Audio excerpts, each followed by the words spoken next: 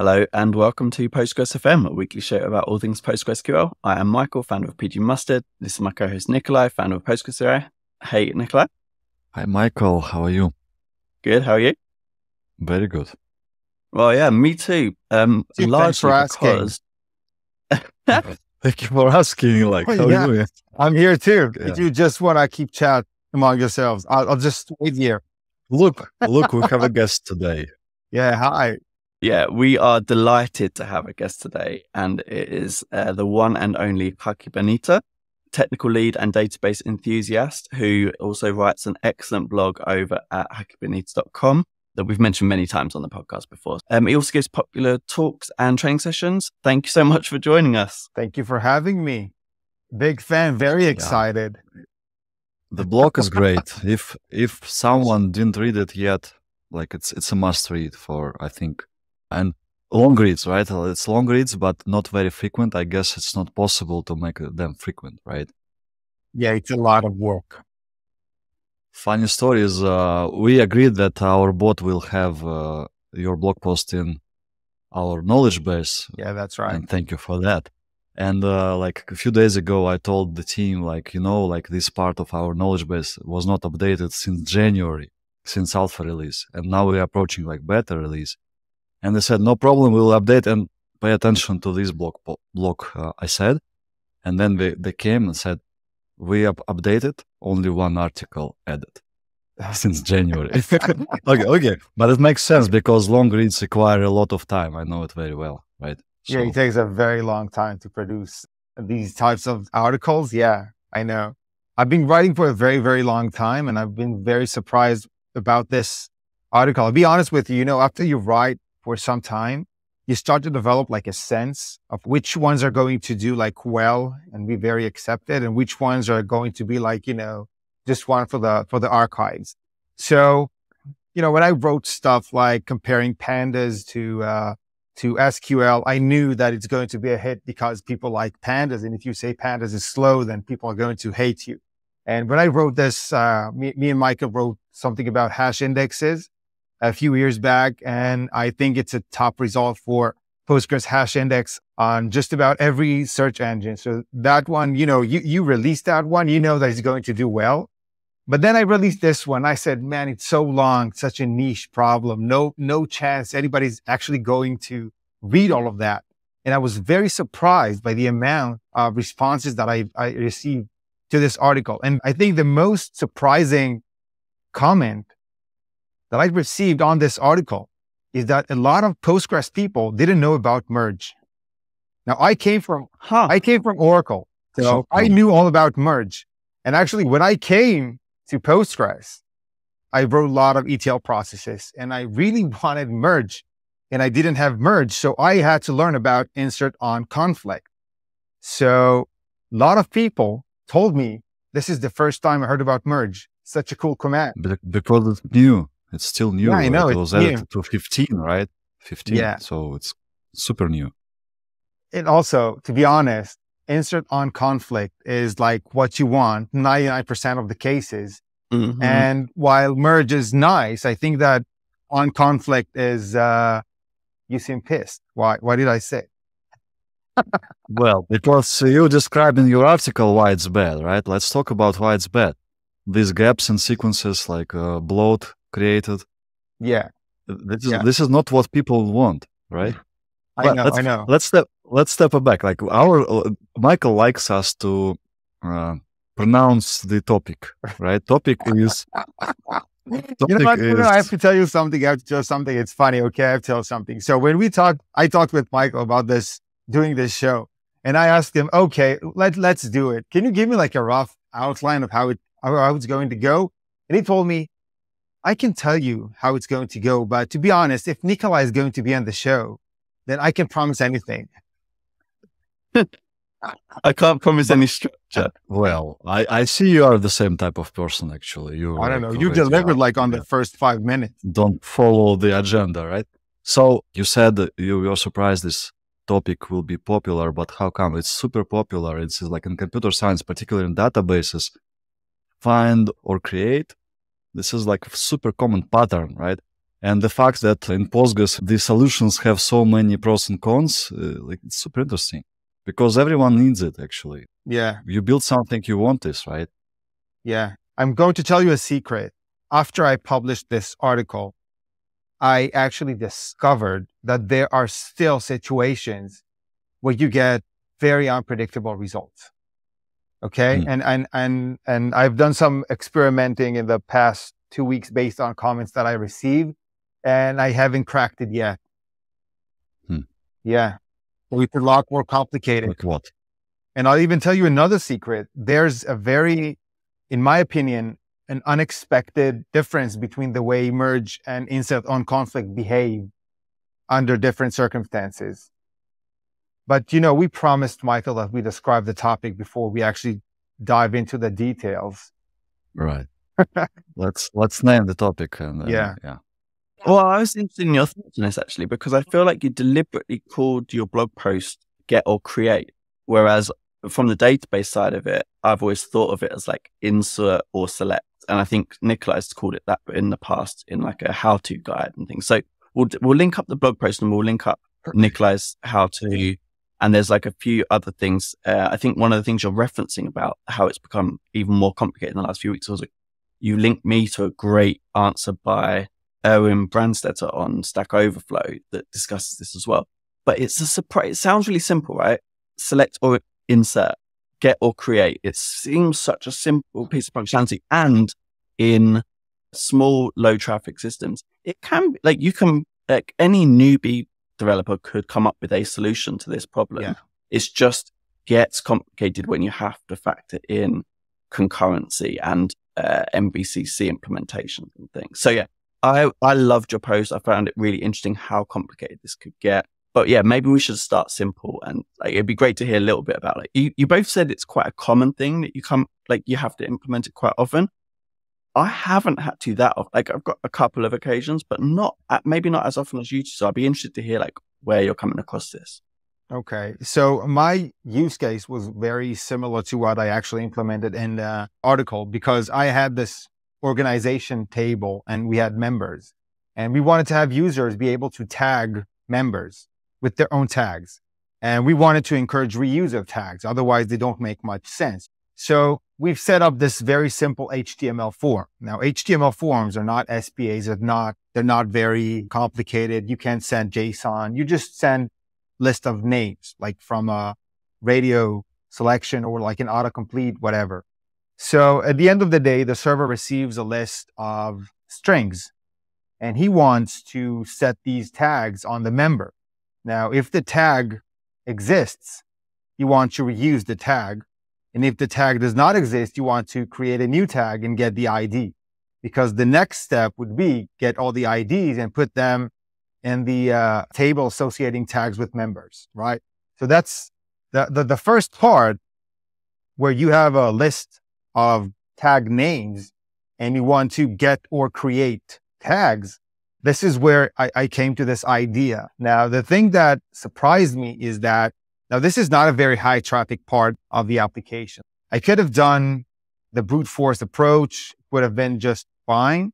But, you know, I, I wrote some unit testing and one of the tests was, let's see what happens when you just have an existing tag. You want to make sure that it's reused. So I used insert on conflict do nothing with returning star. So I expected that if I insert, for example, two tags and one of them already exists, I expected to get two tags in return. But in fact, what I got was just one tag. So this was very strange to me. So at this point, I started investigating, you know, and, and starting to explore why this happening. And in fact, the, the first thing that I thought about was let's do a meaningless update. Like instead of doing on conflict, do nothing, I did on conflict, set ID equals exclude ID. Like let's fool the database into thinking that this tag was modified. So I get, get that in return. But it really bugged me because it, it's very like, it's a very ugly solution. Why would I want to update something for no reason just to get it back? So this is where, you know, all the, the different scenarios started to uncover. And as I tested farther and farther, I came to the conclusion like, hell man, why is this so complicated? I mean, these, this is what database and applications do. This should be so simple. Why is this so complicated? And then I started digging. And one of the places that I uh, eventually arrived was Django. Django is a, a web framework and there's uh, an implementation of get or create. And what Django is doing, they try to fetch the record. If they find it, they return it. If they don't find it, they try to insert, right? But then, and that's like the funny part, the non intuitive part, then they actually handle an integrity, unique constraint violation and then they try to get it again. This is the select, insert, select. But then it gets even more complicated because if you have a unique constraint violation inside a transaction, it aborts the transaction, right? You need to wrap the second insert in another transaction, right? Or use So- sub-transactions. I think Django by default uses sub-transactions, which is a very bad idea actually, but we will talk about it later.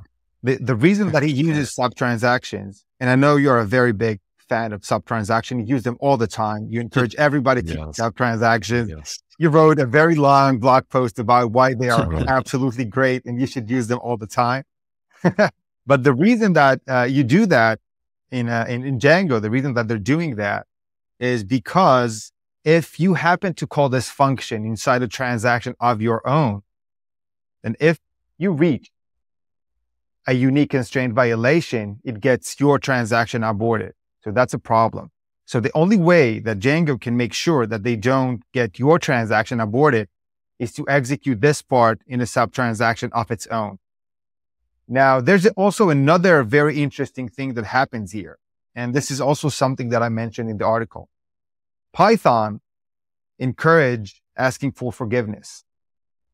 So in Python, the item says that you should try something and then handle all the possible exceptions. So trying to insert a record and then handle the unique constraint violation is actually consistent with how you're expected to do things in Python. But it kind of conflicts with the way Postgres handles the situation because in Postgres, when you have an exception inside a transaction, it aborts the transaction, which is not a very good thing. So the approaches between how you would do things in Postgres and how you would do things in, in Python kind of clashed in this case. I thought it was very interesting. So, you know, I, I explored different approaches, like what would be the equivalent of asking for forgiveness in Postgres? What would be the equivalent of looking before you leap, check all the preconditions in advance? So, uh, yeah, it turned out to be way more complicated than I anticipated. Yeah, um, that's interesting. And uh, you explored several properties, right? Uh, bloat, concurrency, constraint, and uh, id- idempotency, right? So Idempotency, yeah. idempotency. So I'm very curious. I saw some uh, parts of benchmarks, but you decided not to include the performance to the resulting table Yeah. when you compared methods. Uh, why so? Performance also interesting, right? performance is interesting and i saw i saw some articles that do this from a performance point of view in my situation performance was not a concern i was more focused on getting the the functional attributes that i wanted like idempotency for example wa- was a lot more important to me than make it fast because at the end of the day you you don't update lots of tags you probably set no more than five so performance was not a concern. I did want to focus on the functional attributes. Also, it got pretty long. So at some point you need to let something Yeah. go, you know? Right. Yeah. let's maybe talk about um, your favorite method right now and for future. For future, I guess it's merge, right? Because in Postgres 17, it will have returning clause. Actually, I didn't know. And when I uh, read about it in your blog post, I immediately thought, oh, this is a candidate to be one of my favorite additions to Postgres 17. I somehow overlooked it. So it's great. Uh, before, like, merge was added to Postgres 15. It was being developed more than 10 years, I think. It was a huge story. but it lacks returning in 15 and 16. Now in 17 to be yeah. released soon, it's receiving returning, and it looks like all your checkboxes are green, right? I mean, yeah, it, it should be favorite. Uh, like you will you would choose this if you already was on we are on Postgres 17, but before 17, what's your favorite method? Well, insert on conflict, do nothing with a union is is currently my way to go, and I I expect it to remain my go to approach, uh, mostly because of habit, and also because I experimented with the new merge under different circumstances in Postgres 17. And it turns out that merge can actually fail with unique constraint violation. Hmm. So I found it unexpected. I don't know because I don't know much about how these two are different in the underlying implementation, but I'm guessing that they are not implemented the same way. And we talk about it committed level, yes, right? Because I think it also matters, right? Yeah. So the lowest. Yeah. Mm. So so after I, I published this article, I uh, some a reader reached out to me and he said, I really liked your post and everything is very comprehensive, blah, blah, blah. But there is one race condition that can hmm. still cause inconsistent results. So basically, if you have two sessions inserting the exact same tag at the exact same time, then you can end up with a situation where using insert on conflict, you would not get idempotency, meaning the first statement would return the tag, but the second would return nothing. And the reason for that is when you start the first transaction, you insert the tag A. So tag, tag A does not exist and insert, insert the tag, right? And then you get mm-hmm. that in return, but then you don't commit. Now another session starts, the transaction begins, and now you do the exact same thing. You do insert tag A on conflict, do nothing, returning star, and then you select from the table and select from the returning.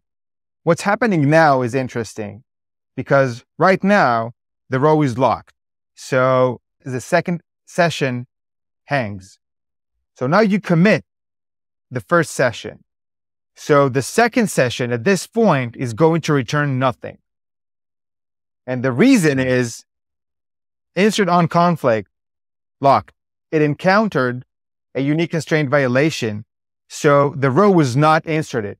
But then when you try to select from the table, it found nothing because the snapshot yeah. is older than the other transaction. So this is a scenario where, where you get, you don't get idempotency. You expect to get the same output in both cases, but you don't. And the more interesting thing is if you do the exact same exercise with merge, you get different results. What do you get? Can you guess? I found it to be surprising. If you do the exact same experiment with merge, you are going to get unique constraint violation. Even though you can say in the merge clause, you can say on conflict, do nothing, when match, do nothing, you are still going to get unique constraint violation. So this raises a question of whether merge is really, or I, I would, I wouldn't want to say something like, is it safe in concurrent, highly concurrent mm-hmm. reloads, but it doesn't do what it promises. A better understanding right? of how merge handles these types of situations, you know. Hmm. Yeah, it shouldn't produce con- unique constraint violation in read committed, but it does. Yeah, okay. But it's easy. To, it, is, it should be easy to check based on what you say. Like if you just do PG bench m- multiple sessions in parallel, doing the same thing, right? It, it, it's very easily reproducible. You just need two terminal windows and you can immediately replicate it. I the thing I found to be Okay. I would say disturbing. Yeah. And I'm using air quotes for those of you just listening is that when you do merge and you set on match, do nothing, you don't expect to get unique constraint violation. Right. Like if I wrote this statement in my code, I would not handle unique constraint violation. Mm-hmm. Mm-hmm. Okay. Because if I'm inserting into a row and I know that it can raise, I would handle the situation and do whatever I need to do. But I would not expect to get integrity error when I explicitly handle the case where there is a match. So I found this to be surprising. So to answer your previous question, what would I use now? And that's a, that's a tough choice between you don't get the expected result to you get an exception. You know, when I'm thinking about right now, I think that it kind of makes sense to get the exception, mm. right? Yeah, well, I, I, guess we're moving from the end of article backwards, right? So I'm not sure uh, this the problem you describe. Is it discussed somewhere? Like, in, do you know, like, like this behavior was it discussed in mailing lists or somewhere? No. I don't know. Maybe I, am guessing that it might have, but I haven't seen any. And it also, as you said, it's kind of new in Postgres. So it's possible that some of the people that worked on it didn't have enough time to actually document it. I wouldn't say document, but maybe write these types of articles on it, analyzing how it behaves under different circumstances. Yeah, I, am curious. I think this should be documented. Maybe it's, maybe it's actually documented. We should check. But it's super interesting. I never used merge in production, never, never ever. but but yeah, so but I, I'm well, honestly, most production systems are still behind a lot in terms of major version. But uh, moving backwards, insert on conflict do nothing or do update. This is interesting because so we said our goal is find or create or like get or create, right? Yeah. But when you say let's also update, it's like third layer of logic, right? Find or create, but if you found, also update. Like it's it's more complicated. I like it, but it's already a different task, right? Yeah. Well, you know, when I wrote lots of ETL, I don't know, 15 years ago in, in Oracle, I used merge all the time. It was like right. a third hand. Every time I needed to do anything, I would use merge because when you do ETL processes, you're basically taking data from one place and you want to sync it to some kind of target. So you use merge all the time. In Postgres, I kind of gotten used to not using it. And also some may also claim that the whole uh, ETL, the way that we do ETL now is kind of different than the way we used to do ETL 15 years ago. A lot of it is the same, but some of it is still kind of different. Yeah, I think it's uh, I think it's interesting, and I, and hopefully when more people adopt merge, I know that it was a very desirable feature, right? A lot of people wanted that, right? Oh, people right. very exciting yeah. when it came out. It was all in the what I anticipate, what I expect most end version, uh, you know, the merge command. So hopefully we're going to see some people doing interesting stuff with merge. Yeah, and I was surprised to see. Uh, so there is difference between uh, insert on conflict do nothing and do update in the table you provided in the end of the article and do update there is like red cross in the column of bloat, meaning that it has bloat issues. Obviously update, okay. But also you have a green checkbox for insert on conflict do nothing. The thing is that when we created our bot, we also use insert on conflict do nothing for knowledge base. For example, if your article get, gets inserted, uh, it's like it searches if this URL is known already, right? Uh, and uh, if it's known already, do nothing. We decided not to apply update yet. So I was surprised to see you you, you concluded that there is no bloat issues because we had a lot of activities, a lot of data to insert, and it suffers from bloat. We have gaps. So if you have collision, right? So you inserted something, you try to insert and do nothing it actually generates that tuple, I think. No? No, I think that, no? uh, first of all, gaps, yeah, gaps for sure. I just yeah, checked gaps, gaps for, for sure. sure. Yeah, gaps for right. sure. And okay, I know what you're talking about. You, you, you're talking about the, the, the issue of bloat, right? Bloat. So right. this is also a very interesting topic, which I briefly mentioned, but I think that this is also something that some people commented about that they weren't aware of the fact that it causes bloat.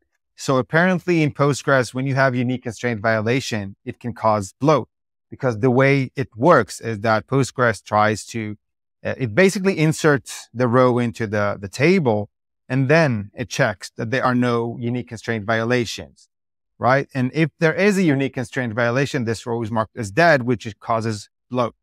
So this is what's happening if you rely, heavily rely on catching unique constraint violation. However, however, however, and this is also in the original RDS article, which is how I found out about it. It was also very unexpected that unique constraint violation would cause bloat. But according to the article and according to the benchmarks that I've done, when you use insert on conflict, it uses a different mechanism that can check in advance for collisions, which prevents bloat.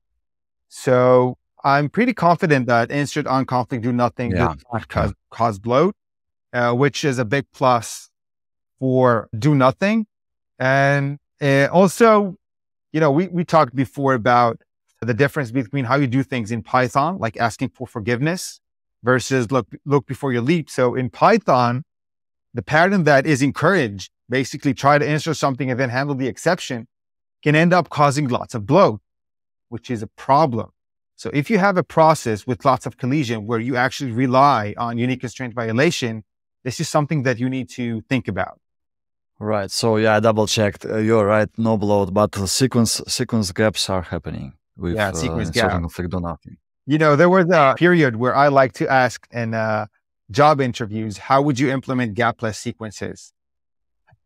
well, have you ever talked about this? Evil question. Evil, Evil question. question. Yeah. Yeah. It's it, it, it has many like depths to go into, right? Yeah. Deeper, deeper, deeper. Yeah. There's a company that a few of my friends and former colleagues work at called Incident.io. They do like incident management within things like Slack and Teams. And they had this issue where they, well, they blogged about it, but they wanted gapless sequences for their incident numbers. They, they didn't, the customers got confused by the idea of the incident number jumping by like five when they'd only had, you know, they've had one incident, then a second incident, and a third incident. Suddenly they're on incident six. What happened? So there's a really nice blog post there. Um, we can yeah, explaining how they was bloat, right? Yeah, yeah. But I'm curious why like, why are you bothered by sequence gaps, Nikolay? Like, why is that an issue? Well, it's not a big issue. It's just cool. it might be an issue for some cases, but I actually I don't care. It uh, gave me false impression that there is bloat. Mm, That's why. But now I double checked. Haki absolutely right. No bloat in for so insert on conflict do nothing probably is the winner in Postgres 16 well, or older. I, I got a question. I've yeah. got a question here because you mentioned the kind of trade off between the well the issues in the highly concurrent cases or like the, the potential issue of insert on conflict do nothing returning null if if you happen to have this uh, case with the two concurrent sessions inserting the exact same tag at the same time wouldn't insert on conflict do update avoid that issue at the cost of some bloat. Well, that, that's well, a yeah. different issue. The issue I describe is that when you have two transactions trying to insert a new tag at the same time, the same new tag at the same time, then the second on conflict would not do anything and it would also not return anything. This is the unexpected part because one of my requirements is that the operation would be idempotent. So if I give it tag A, I expect to get an ID yeah. in return. So in this case, there is a scenario where I provide it with a list of n tags and I get less than n tags in return. But if so, they both updated, imagine if both concurrent sessions were doing insert on conflict update, they both get to the update stage. You get two updates, but you still get back all the tags that you wanted to insert? First of all, first of all in, in my uh, scenario, I don't update. This is a very, uh, yeah. A lot of people got this uh, very confused. This is why I added a comment. And some mm-hmm, people mm-hmm, made like uh, very, uh, let's call them funny comments about it. Okay. but there's a difference between upsert, where you want to update or insert, which sure. is also a very, uh, a very popular pattern. In this case, by the way, it's simpler because if you actually update the row, then it's going to get returned by returning star. Returning. Yeah, yeah. So that's like the easy case. In my case, I don't want to touch the row, but I still want to get it back. This is why get or create is like a more difficult variation of upsert, if, if you will. Okay. So, uh, there, there's a tricky part. So apparently there's no good solution. By the way, the block, the, the post by Erwin on Stack Overflow lands on a brute force solution where you basically loop until you get what you expect. Uh, I don't know if I would have, uh, if I, I, I, maybe this is the way to go. loop where in in a different language or in PLP SQL? He ended up writing a function where you essentially loop until you stop SQL. getting uh, unique yes. constraint violations. Yeah. But you you need uh, sub transactions, so this is no go for me, definitely, right? yeah, this doesn't scale. I mean, this. Uh, Nikolay, you are a man with a mission. well, I it's it's no joke. I I will have clients. Literally last week, uh, I spent like half one hour, and people went and and switched off it in Django because they it hurts. It hurts uh, constantly. People like subtrans SLRU. Wait event.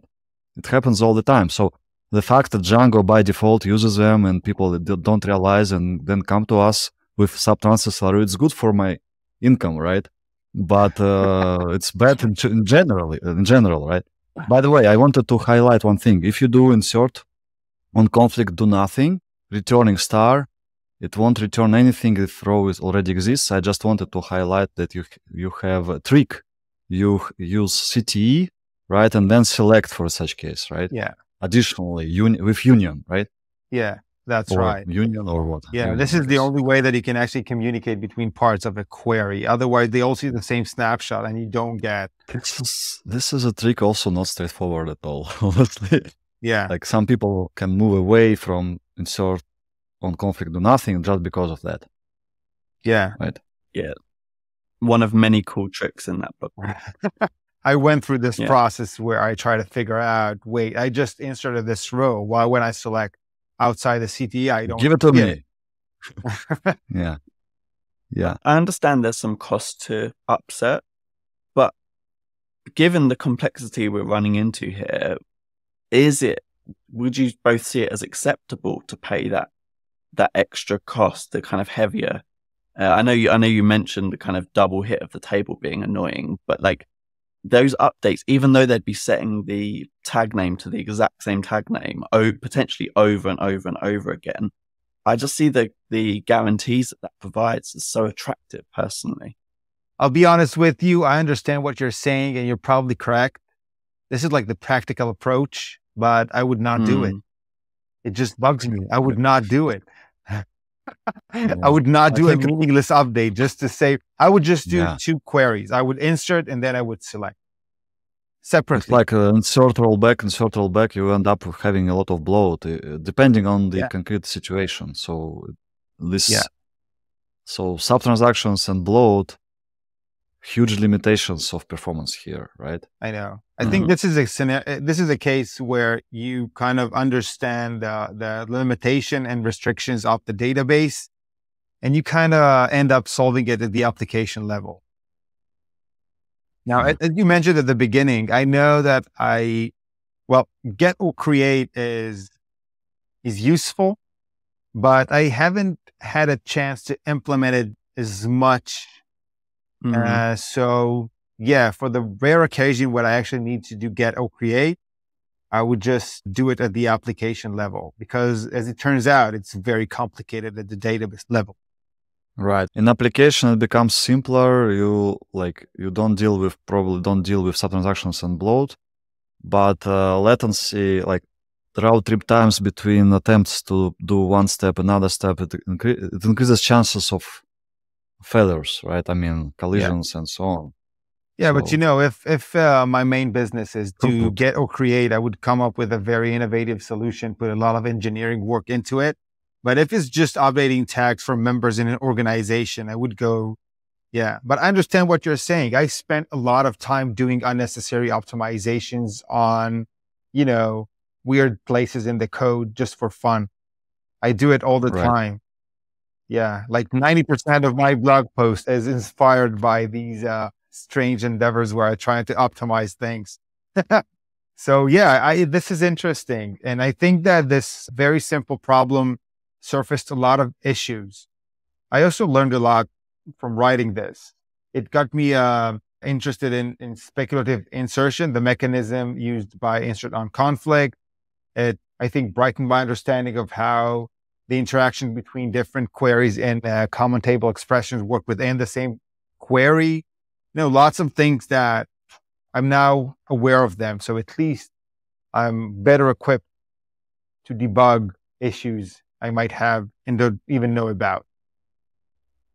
Yeah. Yeah, I really liked it as a journey. I, I would encourage people to read this even if they don't have this problem, uh, just as a almost as a, just to watch somebody go through this problem.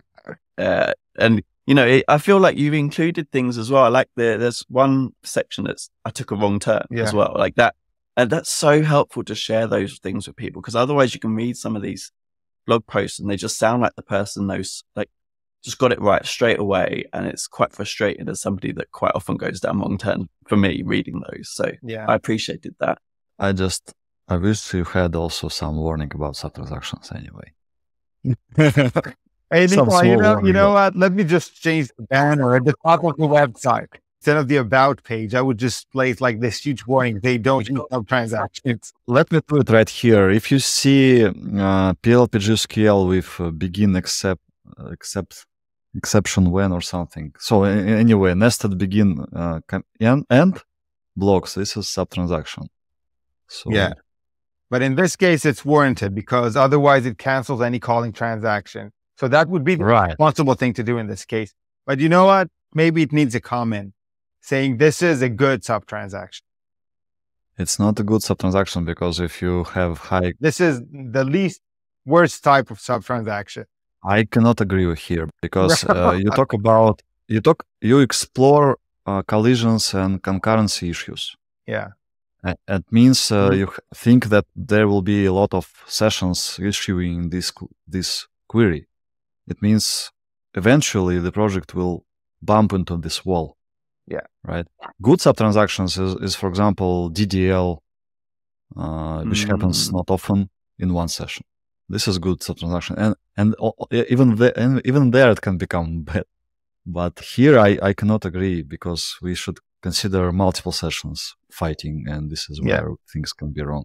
What you're saying reinforces what I'm saying that in this situation, because it's so complicated in the database, I would just elevate that to the application level and try to find it Yeah, uh, a- a solution there to avoid all the complexity. Yeah. But it was a nice I like thought exercise, understanding just different retry aspects. a regular regular transaction. Just retry regular transaction, maybe right. Yeah, It should not be such complex, right? I know. I was surprised that it was so complicated. Why, why is it so? What do you like? What would you both like as a is is is it that you would like merge to work as expected? Like, what is the nice solution on the database side for this? Well, the dream syntax would be for select do nothing, returning star to just return Right. everything. That would be like the dream Mm. syntax. I think part of the problem is that returning star is quite like not super popular thing, which was added later to insert and update and delete. It was not originally there, so it's not supernatural thing, right? Also, once you've defined that behavior, it's so difficult to like. You can't change the behavior for existing applications. No, you can't. And I can even give you an example because you usually use insert on conflict with, you know, th- there is no merge command in, in Postgres. So if Mhm. you want to sync data, you use insert on conflict and then when matched, do nothing. Okay. And more often, what you want to do is you want to avoid the unnecessary update. So you do when matched, do update where something actually changed. Okay. And then some rows ends up not being affected. So at this point, you do returning star. And then usually what I like to do in my ETL processes is I count the rows so I can log how many rows were affected. Right. So now the question is, if I expect to get the number of affected rows, we go for a circle here. I know. So if I'm just expecting the, the affected rows, then if I'm going to get rows that were not affected, also very strange, right? Right. Yeah. So what's the conclusion? Come on, guys. I mean, what, what's the conclusion? Mm-hmm. Just do it in the application. Don't don't go there. The, the main conclusion is don't go there. Don't think about it. Yeah. That's it. if error happens, like it, it only uh, confirms that application developers should implement proper retry logic always. Yeah. If transaction fails, code should be ready to retry it. That's it. Universal solution to everything. We should rename this to uh, just do it in the application FM. well, It's complicated Well. FM. It's com- No, it is complicated. No, no. Jokes aside, it is. Com- I don't know why it's so complicated, but it is. turns out concurrency is hard. Yeah. Mhm, You mhm. know, I remember one of the things that I remember is that when I read this RDS article about uh, unique constraint violation causing bloat, I was shocked. I was shocked because coming from Python, I'm like encouraged to trigger exceptions. This is how I do things. I fail and then I, I, I, I adjust. So uh, that was very strange for me. I have this entire lecture about uh, how to handle concurrency with a short URL system and everything. Like there's a, a problem of how you generate short random IDs. How do you do it? You need to, if you know, like a short URL system, you need to generate keys, very small keys. So the space is limited. So you want to generate random unique keys. So how do you do it? So you end up in a solution where you try to insert and then you loop until you don't get unique constraint violations anymore. Right.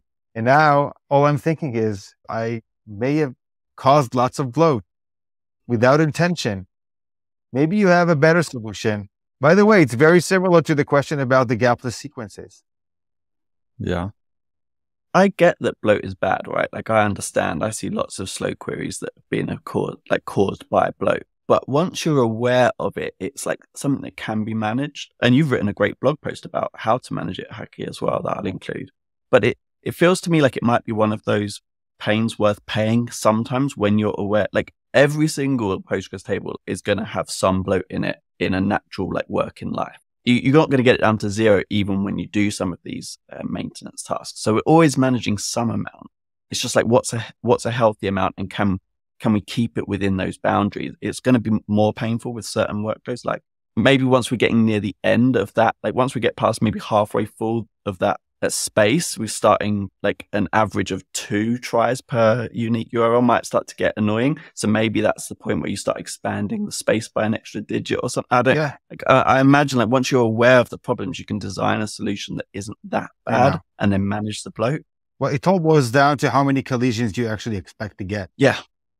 I Yeah. think the fact that uh, f- rolled back, rollback inserts uh, cause bloat makes me think that only undo people can save us someday. Uh, we had a uh, quote last week. Yeah, Haki, last we had a quote. we- yeah. the, the new term undo people because indeed, if you think we should about we it, should credit Melanie. Yeah. So this uh, different approach would place new row to the same position in the page, right? And if it uh, if it uh, committed, it's there. If not, like uh, I mean, the, the different approach would not cause bloats, bloat, or if inserts is rolled back, right? So this is just the design of Postgres MVCC we should blame, Mhm. right? Yeah, it's very unexpected, for sure. Yeah. So- well, at least we can run very long queries without worrying about undo segments running out. Yeah. I've been there. And it's great to have an Oracle, like a former Oracle person, understanding the uh, downsides of undo too, right? Um, Haki, any any last things that we should have mentioned that we didn't? No, I think that we uh, zigzagged across this article very, very nicely. Nikolay definitely delivered on his promise. yeah. Well, uh, are you planning part two with benchmarks? Uh, I don't know if I, I still don't care much about performance in this case, but I think that I might add an update on some of the findings about how merge and insert can end up eventually causing uh, unique constraint violation and, and, and non-idempotent results. I hope that you implemented upsert so you can identify where blog post is updated so your AI can answer this correctly. Oh, this is good. Good goal. Actually, we don't have I know. yet. Yeah. Brilliant. Misconceptions about blog posts. They never update. Challenge accepted. Challenge accepted. Yeah. I just solved your uh, get or create problem. You can just update all the time. It's not that easy because we have many pre-processing stuff for li- really long articles as yours because you know the LLM has usually has some limitation. OpenAI has like 8k tokens as input, Okay. and I'm sure your article exceeds it a lot. So I'll yeah, try to write so- shorter ones.